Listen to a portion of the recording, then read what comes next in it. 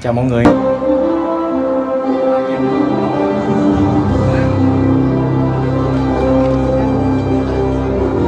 Xin mời các bạn đón xem giải bóng đá hạng nhì quốc gia. Trận đấu vòng loại cuối cùng.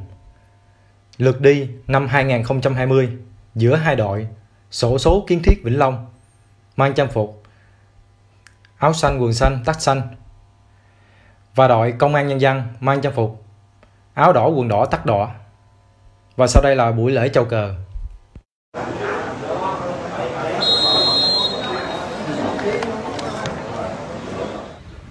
Mình bắt đầu ờ, chạy ờ, vòng sân ờ, vận động Vĩnh Long nha mọi người.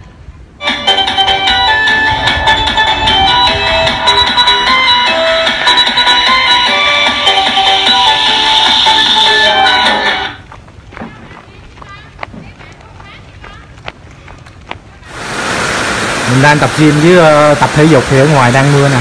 Mưa rất là lớn luôn. Trời đang bão á.